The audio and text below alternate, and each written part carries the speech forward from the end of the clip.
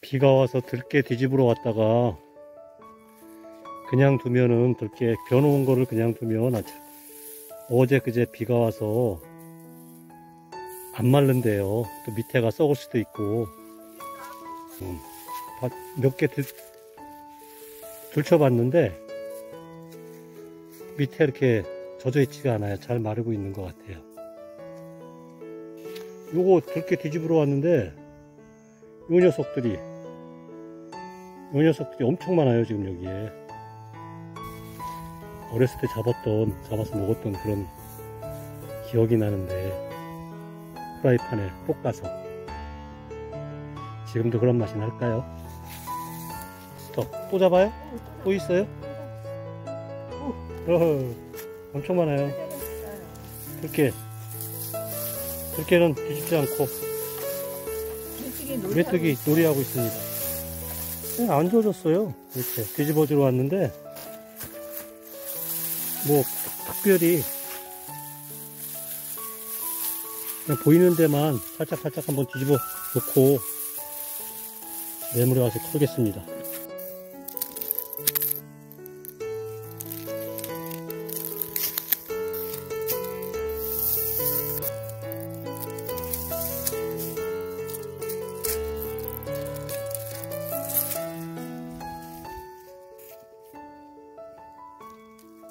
야, 요놈들 참.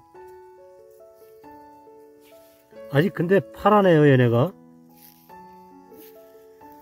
아직 파래요. 어휴. 보이시나요? 야 멋있다. 어. 멋있게 생겼습니다, 메뚜기. 음, 어렸을 때 잡아서 프라이팬에 기름 넣고 볶아 먹었던 그 메뚜기입니다. 들깨 뒤집으러 왔다가 들깨는 안, 줍, 안 뒤집고 메뚜기만 잡습니다. 많아요? 어우, 저 치는 거 봐요. 메뚜기가 여기 엄청 많네요.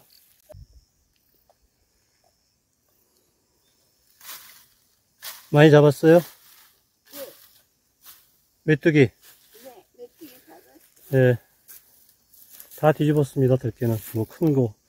큰, 이렇게, 뭉쳐 있는 것들, 무대기로 크게 쌓여 있는 것들만 뒤집으니까, 금방 뒤집어요. 잘 말리면, 털도록 하겠습니다. 예? 아기 메뚜기들이 많아요? 이제 살려줘요, 걔네. 얘네가 근데 소리 오면은 어떻게 되는 거죠?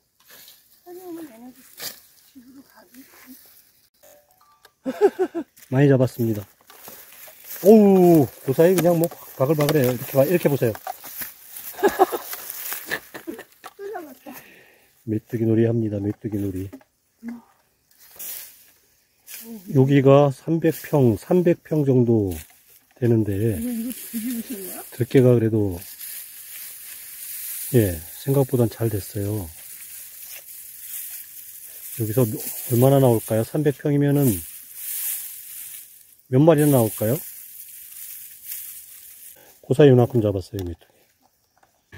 요만큼, 오, 안에서 난리에요. 꽤 많이 잡았죠, 고사이. 이야. 메뚜기 이제 놓아주고, 놓아주고 가겠습니다. 가서 잘 살아라.